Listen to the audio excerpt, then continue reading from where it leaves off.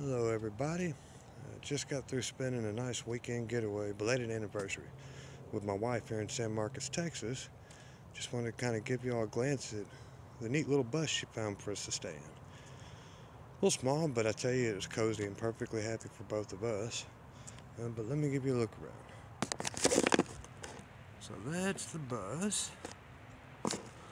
Nice little office space here walk around to the front of it so you can see the bus itself.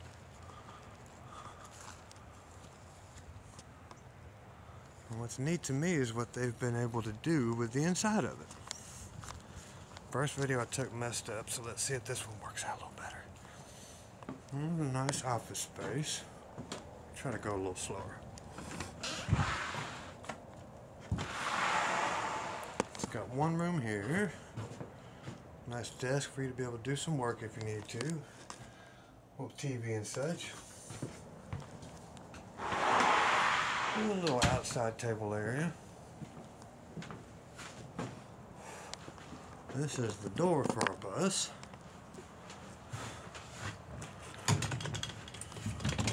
Stairs up. Nice coat rack. It's got a nice little couch area. Don't worry, I'll spare you. Nice little kitchenette with a coffee pot. This is our bedroom. I'm not going to jump in there because I don't want to invade my wife's privacy. Mm, hallway here.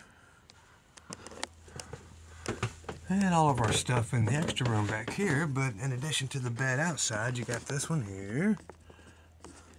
It's just really neat what they were able to do with a bus. Our little bathroom area